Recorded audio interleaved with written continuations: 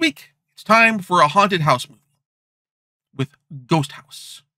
Ghost House is technically a unofficial sequel to Evil Dead 1 and 2 and is part of the La Casa series of horror films, the same way that the Zombie with an I films are a bunch of zombie movies that are technically unrelated, Zombie 1 being uh, the Italian title for Dawn of the Dead, but are all thematically sequels to each other, though if not being in the same universe.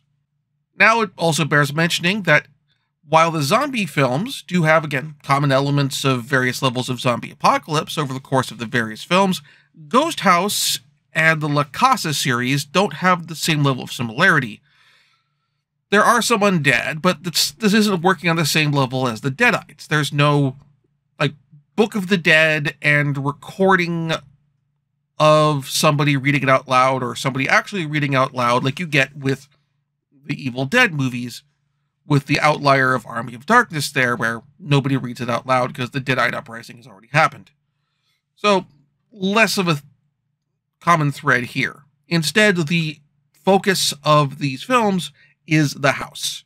But again, with the house, it also, for Ghost House, it's bigger in more than a few respects from the relatively small cabin in the woods we see in the Evil Dead movies.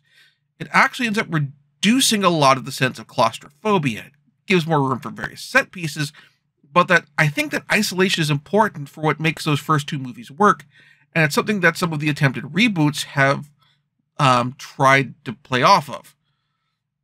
I do like the premise. A ham radio operator picks up a signal that appears to be a cry for help.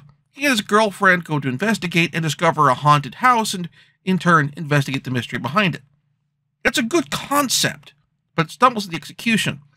The scenes inside the house are creepy and atmospheric, the gore effects are nicely done, and the climax has a strong sense of spectacle to it, considering this is a low budget Italian knockoff of Evil Dead and Poltergeist.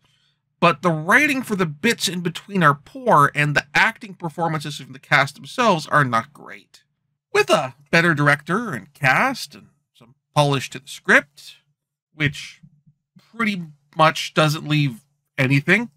Uh, this could have been a, well, better film. Instead, it's a haunted house movie that's just kind of average.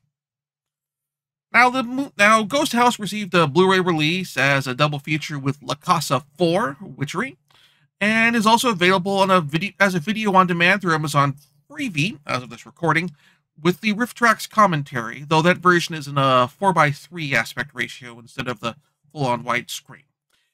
Honestly, it's up to you which version you prefer. I'm leaning more towards the RiffTrax version. The riffing makes the movie just generally more enjoyable. Honestly, it's up to you.